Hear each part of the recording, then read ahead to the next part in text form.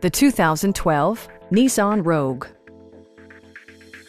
Smooth gear shifts are achieved thanks to the 2.5-liter four-cylinder engine, and all-wheel drive keeps this model firmly attached to the road surface.